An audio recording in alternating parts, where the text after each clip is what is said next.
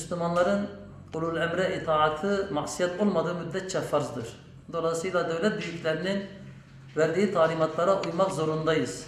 Bir buçuk yıldan beri bütün dünyayı etkileyen pandemi kuralları ve aşı olma konusunda duyarsız kalan vatandaşların dinen sorumlu oldukları belirtiliyor. Siirt Müftülüğü uzman vaizi Murat Nergiz, yöneticilerin dinimizin kurallarına aykırı olmayan emirlerine uyulması öngörüldüğünü ve buna uymayanların sorumlu olacaklarını söyledi. Kur'an-ı Kerim'de insanlardan hayatlarını tehlikeye atmamalarının emredildiğini belirten Nergiz şöyle konuştu. Toplum olarak hassas bir süreçten geçmekteyiz. Müslümanların ulul emre itaatı maksiyet olmadığı müddetçe farzdır.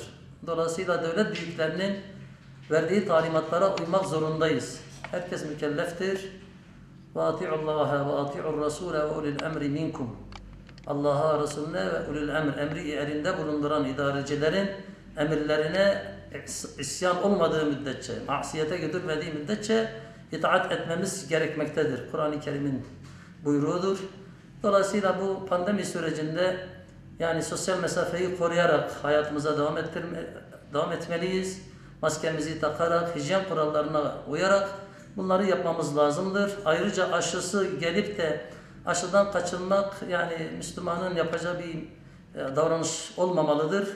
Çünkü tedavi sünnettir. Hele bu pandemi sürecinde Allah muhafaza işte entübe yakalanacak kadar ihmalkar davranan kişi günahkar olur. Çünkü yapabilecekleri, yapabileceği ibadetleri tehlikeye koymaktadır.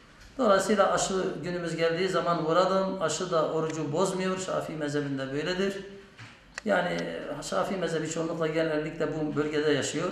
Olmayan da Şafii mezhebini taklit ederek aşıyı gündüz vurmasında bir sakınca yoktur. Bilakis vurmasında sevaba girer. Çünkü kendisini, ailesini ve çevresini tehlikeye atmaktan ve kendi nefsini alaka e, tehlikeye atmaktan kurtulmaktadır. Nitekim Kur'an-ı Kerim'de وَلَا تُلْقُوا بِاَيْد۪يكُمْ اِلَى التَّهْلُكَةِ buyurulmaktadır. Kendinizi kendi elinizle tehlikeye atmayınız buyurmaktadır.